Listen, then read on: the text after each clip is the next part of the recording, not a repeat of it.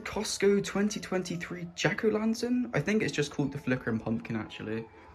Um, I literally just got this guy right now. I actually ordered him uh, two days ago, I think. Uh, before I start, I do want to say it has been raining, so the box has a little bit of like water on it, but it's no big deal. Oh uh, yeah, let's show the box. So that's the front. It's just a photo of him with this cool like haunted house in the background. There's the front, this is the side. So here he is shown lit, um, unlit and from the back. There's the side. Uh, this is just the exact same and then this side I can't show because it's got my shipping address on it, but it's pretty much the same thing. It just has like, it's literally the front with the dimensions. It's just this and then these two, or these three diagrams with like things on it. There you go, it's literally just that, but yeah. This is not a toy.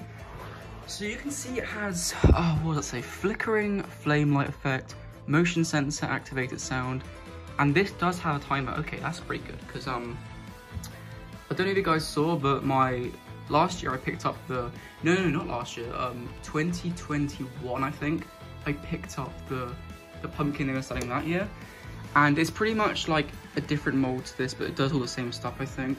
Although this one does do a flicker effect. I usually put all my pumpkins like in a window display. And so like if you're going out, you don't really want to have it running like constantly. So you can just like change uh, to the timer. It's good if you're going away. Um, yeah, that's pretty much all there is to say about the box. Let's go ahead and open this thing. So I did just check um, that he's actually inside the box because the tape looked a bit sketchy, but yeah, it's okay. He's definitely inside there. And so here he is. Go. And yeah, he's actually pretty big. I think he's about like 40 centimeters long. I tried to have like some sort of spooky lighting set up here, but it's kind of getting in the way a bit, so I'll just turn it away. We've got that like stalk protector on there. Okay, there he is. And the instruction manual. Okay, so here he is out of the box. We got the two instruction manuals that just kind of talk about the batteries a bit. Uh, that's pretty much it. It just kind of tells you the different settings. Yeah, he's pretty big, I'm not gonna lie. He's actually like a lot bigger than I thought he would be.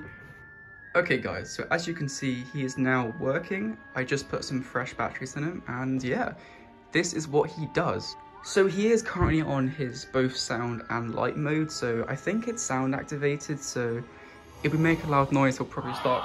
There you go, he's going on. But yeah, as you guys can see, the lighting is really good. It's very simple, but it's very effective. But no, yeah, the pumpkin looks great. The sound is a little bit quiet, but honestly, it's not too big of a deal. Um, I don't think, no, it has no volume control, uh, no volume knob or anything, but that's okay. The sound itself, um, I think it's like a combination of just like laughing and then like some stock sound effects or something. Um, but yeah, he's gonna go in the maze probably, or outside, I don't know. I've got two pumpkins now, so I can kind of fluctuate between the two. Overall, he's an amazing prop. Um, for the price, you really can't get better. I've seen some like been resold on eBay for like so much more than what he was initially going for on Costco's website. I'm pretty sure this was an Australian exclusive like a couple years back. But yeah, now I've got him. I really love him. He's actually really, really cool and I cannot wait to use him.